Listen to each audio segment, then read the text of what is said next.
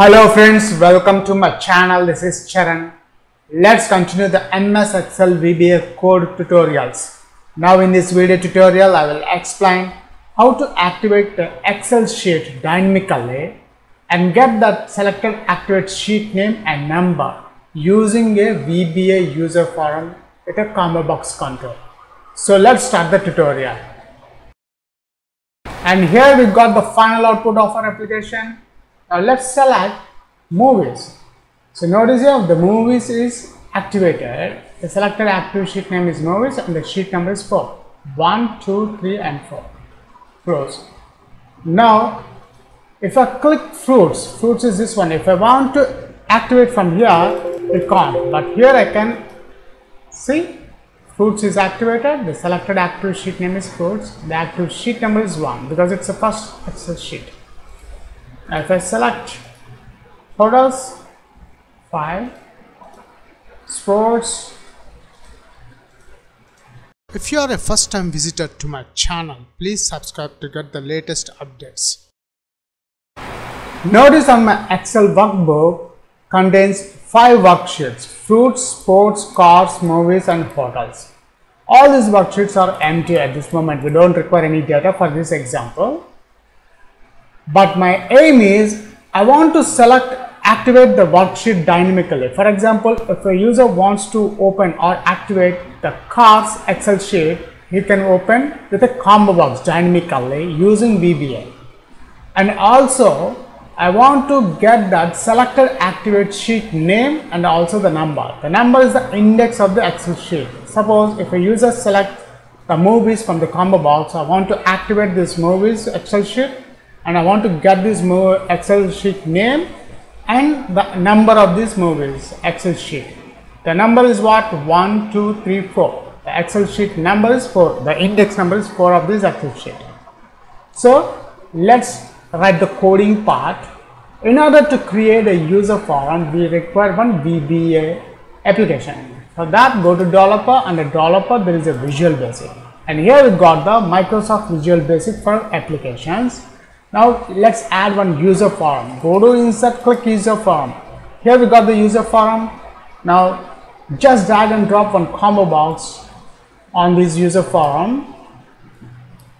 Now before write the actual code, let's uh, execute this application. And here we got the output. Now my first aim is I want to get all these Excel sheet names dynamically in this uh, combo box. After that when a user selects hotels, I want to activate these hotels. For example, if a user wants to select hotels here, see, we can't open here from here when we are running this VB application. But I want to activate dynamically through this combo box. And also I want to get the selected active sheet name and the index number, activate sheet number also. So first let's populate these Excel sheet names in this combo box. Let's close this application. Now select this user form, right click the mouse, go to view code. And now we require the initialize event procedure. Just delete this click event, the default one. Now what I'll do is I'll declare one dim i as variant and this variable I want to count how many Excel worksheets are present in the active workbook. So for loop I am using for i is equals to 1, i is equals to 1 2, um, activate activate workbook dot sheets uh, dot count. I want to count those all and now those sheet names I want to add in this combo box one dot add item add item uh, active workbook active workbook active workbook dot sheets. The sheet takes the index value. The index value is 1 dot uh, name. I want to get all the names on, in this combo box. Then we have to close the for loop with the next condition next i. That's it now let's check the output and here we got all the excel sheet names in this combo box now my aim is if I select cars Excel sheet, I want to activate this cars. Suppose if I want to open here, see, I cannot open from here, I cannot activate. But here I can activate using the VBA code. So let's write the code. Now this time select the combo box, double click that one. We got the change event of this combo box. Now here the code is active active sheet. Active sheet. Active sheet combo box one dot value dot sorry not active sheet it's a worksheet. Worksheets worksheets we are getting now. Through combo box one dot value dot activate activate so let's check the output i'm running this application now notice here when I click movies, it's already open movies here. Hotels, see here hotels is activate. When I click foods, foods is activated here. Cars, sports. Now and also I want to get the selected activate sheet name and the number of the activate sheet. So for that I'm using again switch over to the coding part in the combo box change event.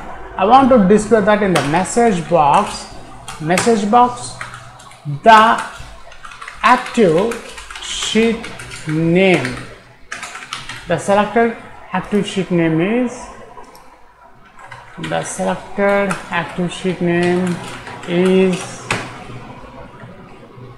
ampersand worksheets instead of writing the same thing just add this one add this one. Now here instead of activate I am adding name. Name. Then um, here we require underscore so I can add a next line the message. Now here what I'm doing ampersand VB new line. N and L are capitals ampersand now the active sheet the active sheet number is this one we just use some space. Now instead of writing the same thing just copy this one and paste here now this one let's add index index so the first one is a in active sheet name and the second one is a active sheet index number. That's it. Let's check the final results. I'm running this application and here we got the final output of our application. Now let's select movies. So notice here the movies is activated. The selected active sheet name is movies and the sheet number is 4. 1, 2, 3 and 4 rows. Now if I click fruits, fruits is this one. If I want to activate from here, it can't but here I can see fruits is activated the selected active sheet name is fruits the active sheet number is 1 because it's the first excel sheet now if I select hotels 5 sports that's it in this video tutorial I have explained how to get a selected active sheet dynamically and get that active sheet name and active sheet number using a VBA user form with a combo box. Thanks for watching this video tutorial. Please share, subscribe and leave your valuable comment. Catch you in my next video tutorial.